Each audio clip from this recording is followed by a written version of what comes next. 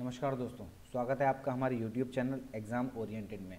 तो आज हम इस वीडियो में भारतीय संविधान के अति महत्वपूर्ण संशोधनों के बारे में चर्चा करेंगे, जो कि आपकी परीक्षा की दृष्टि से अति महत्वपूर्ण प्रश्नों से भरपूर होने वाला है। चलिए देखते हैं। तो संविधान संशोधन, भारतीय संविधान के भाग 20 के अंतर्गत अनुच्छेद तीन सौ अड़सठ में भारतीय संविधान संशोधन की प्रक्रिया व शक्ति का विस्तृत उपबंध किया गया है। भारतीय संविधान में संशोधन की प्रक्रिया दक्षिण अफ्रीका के संविधान से ग्रहण की गई है। ठीक है, आगे देखते हैं पहला संविधान संशोधन, जो कि आपकी परीक्षा की दृष्टि से बहुत ही ज़्यादा महत्वपूर्ण है। उन्नीस सौ इक्यावन में ये संशोधन किया गया था। इस संशोधन में नवी अनुसूची को जोड़ा गया, जो कि भूमि सुधार से संबंधित है, जो कि भूमि सुधार से संबंधित है। ठीक है? और अनुच्छेद पंद्रह का चार इस संविधान संशोधन में जोड़ा गया, जो कि एससी व एसटी के अधिकारों से संबंधित है। चलिए, आगे देखते हैं अगला संविधान संशोधन। तो सातवां संविधान संशोधन, जो कि हमारी परीक्षा की दृष्टि से बहुत महत्वपूर्ण है, वो उन्नीस सौ छप्पन में आया। भाषाई आधार पर राज्यों की मांग की समस्या का समाधान करने के लिए राज्य पुनर्गठन आयोग, राज्य पुनर्गठन आयोग का गठन किया गया।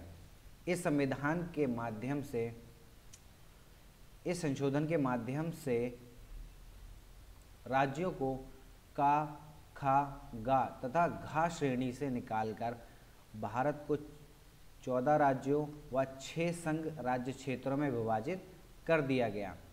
तो इतना सब कुछ संविधान संशोधन सात में किया गया। तो चलिए अगला संविधान संशोधन देखते हैं।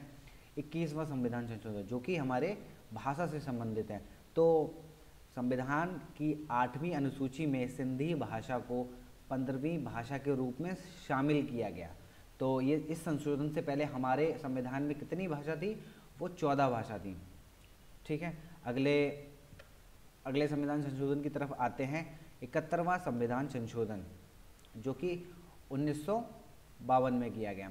हमने भाषा के आधार पर या फिर भाषा से संबंधित जितने भी संशोधन किए गए हैं, उनको हमने सब एक साथ ले लिया गया है। संविधान, संशोधन इक्कीस, इकहत्तर और बानवे। तो इन सबको हम एक साथ में देख लेते हैं। तो इकहत्तरवा संविधान संशोधन, आठवीं अनुसूची में तीन और भाषाओं को जोड़ा गया। ठीक है, वह भाषा कौन कौन सी थी? नेपाली, मणिपुरी और कोंकणी। इसको हम एक बहुत ही अच्छी शॉर्ट ट्रिक से याद कर सकते हैं। न म क तो इकहत्तर में नमक। तो इकहत्तरवें संविधान संशोधन में नमक। ना से नेपाली, माँ से मणिपुरी और का से कोंकणी। चलिए, अगला संविधान संशोधन देखते हैं। तो बानवेवा संविधान संशोधन 2003 में किया गया। आठवीं अनुसूची में चार और भाषाओं को जोड़ा गया। ठीक है, आपको इस बात को भी याद रखना है कि कि बावनवा संविधान संविधान संशोधन कब हुआ था? 2003 में। ठीक है? और कितनी भाषाएँ जोड़ी गई? तो चार भाषाएँ जोड़ी गई। कौन सी? बोडो, डोंगरी, मैथिली, संथाली। ठीक है? इसकी भी एक शॉर्ट ट्रिक मैं आपके लिए लेकर आया हूँ। वह है B D M S B से बोडो डी से डोगरी एम से मैथिली एस से संथाली। तो चलिए अगला संविधान संशोधन देखते हैं। तो बयालीसवां संविधान संशोधन। ये तो आपकी परीक्षा की दृष्टि से बहुत ही महत्वपूर्ण है। समझो, जो भी कॉम्पिटेटिव एग्ज़ाम होना है और संविधान संशोधन से कोई क्वेश्चन बनता है तो इस संविधान संशोधन से निश्चित ही रूप से एक क्वेश्चन ज़रूर आपको देखने को मिलेगा। तो बयालीसवां संविधान संशोधन कब हुआ था? उन्नीस सौ छिहत्तर में, ठीक है? इसे लघु संविधान, मिनी कॉन्स्टिट्यूशन के नाम से भी जाना जाता है। तो लघु संविधान, इसी को कहते हैं, बयालीसवें संविधान संशोधन। ठीक अगला पॉइंट देखते हैं। एक नए अध्याय, भाग चार का। में अनुच्छेद इक्यावन का को जोड़कर नागरिकों को दस मूल कर्तव्यों का उल्लेख किया गया। ठीक है? तो इसमें क्या किया गया? एक नया अध्याय जोड़ा गया। भाग चार का, जिसमें इक्यावन का अनुच्छेद जोड़कर उसमें दस मूल कर्तव्यों के बारे में उल्लेख किया गया है। ठीक है? अगला अगला देखते हैं। उद्देशिका में तीन शब्द जोड़े गए। तो इस ही संविधान संशोधन के द्वारा उद्देशिका में हमारी तीन शब्द नए जोड़े गए, जो कि थे समाजवादी, पंथनिरपेक्ष, अखंडता। ठीक है? तो इस संविधान संशोधन में कुल बावन अनुच्छेदों में संशोधन किया गया था। अगला महत्वपूर्ण संविधान संशोधन देखते हैं। चौवालीसवां संविधान संशोधन, जो कि 1978 में किया गया। अनुच्छेद 31 को निरस्त कर संपत्ति के अधिकार को एक विधिक अधिकार बना दिया गया। तो पहले संपत्ति का अधिकार कौन से आर्टिकल में हुआ करता था? आर्टिकल 31 इकतीस में। ठीक है? जब वह एक विधिक अधिकार बन गया तो वह किस आर्टिकल में पहुँच गया? तो आर्टिकल 300 का। ठीक है? इस बात को आप याद रखेंगे कि यह आर्टिकल 300 का में पहुँच गया है। तो अगला संविधान संशोधन देखते हैं। बावनवा संविधान संशोधन, जो कि उन्नीस में होगा। आपको इस बात को भी याद रखना है कि कौन सा संविधान संशोधन, कौन सा अमेंडमेंट कौन सी सन में किया गया। तो इस संविधान संशोधन के द्वारा संविधान में दसवीं अनुसूची को जोड़ा गया। ठीक है? अब दसवीं अनुसूची में क्या था? दल बदल को रोकने के लिए कानून बनाया गया था। ठीक है? तो चलिए अगला संविधान संशोधन देखते हैं। इकसठवां संविधान संशोधन, जो कि उन्नीस सौ नवासी में हुआ था। इस संविधान संशोधन के द्वारा अनुच्छेद 326 में संशोधन करके लोकसभा तथा राज्य विधानसभाओं के चुनाव में मतदान करने की आयु 21 वर्ष से घटाकर 18 वर्ष कर दी गई। तो कौन से संविधान संशोधन में 21 वर्ष से 18 वर्ष कर दी गई थी? तो इकसठवा संविधान संशोधन था। यह क्वेश्चन पीसीएस में पूछा गया था। तो इस क्वेश्चन को आप ज़रूर से ज़रूर याद रखना। क्योंकि ये क्वेश्चन भी बहुत ही ज़्यादा परीक्षा की दृष्टि से महत्वपूर्ण है। तो अगले संविधान संशोधन की ओर आते हैं, वह है तिहत्तरवा संविधान संशोधन, जो कि उन्नीस में किया गया था। ग्यारहवीं अनुसूची को जोड़कर भारत में त्रिस्तरीय ग्राम, मध्यवर्ती तथा जिला स्तर, पंचायती राज की व्यवस्था का प्रावधान किया गया। ठीक है? तो ग्यारहवीं अनुसूची किससे जोड़ी गई? तो ये जोड़ी गई तिहत्तरवें संविधान संशोधन से। तो और इसमें उनतीस विषयों का उल्लेख किया गया है, जो कि एक विशेष अधिकार देते हैं ग्राम पंचायत को, जो कि विशेष अधिकार देते हैं पंचायती राज को। ठीक है, अगले संविधान संशोधन की ओर आते हैं, चौहत्तरवा संविधान संशोधन। यह संविधान संशोधन उन्नीस सौ बानवे में हुआ था। इस संविधान संशोधन द्वारा संविधान में बारहवीं अनुसूची जोड़कर नगरीय स्थानीय शासन को संवैधानिक संरक्षण प्रदान किया गया। ठीक है? और इसमें 18 विषयों का उल्लेख किया गया है। ठीक है? तो तिहत्तरवा संविधान संशोधन कब हुआ था? वह भी हुआ था उन्नीस सौ बानवे में।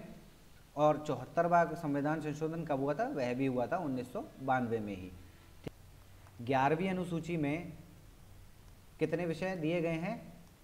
तो वह दिए गए हैं ट्वेंटी नाइन तो इसको याद कैसे करेंगे? ये ग्यारह है तो यहाँ two two plus nine nine कितने हो जाते हैं? ग्यारह. तो इस तरीके से ग्यारहवीं अनुसूची में कितने? ट्वेंटी नाइन विषय के बारे में बात की गई है। ठीक है, ऐसे यहाँ पर 18 18 विषयों के बारे में उल्लेख किया गया है। तो चलिए, अगला संविधान संशोधन देखते हैं। छियासीवा संविधान संशोधन। ये कब हुआ था? 2002 में। तो यह संविधान संशोधन शिक्षा से संबंधित है। ठीक है? शिक्षा से संबंधित है।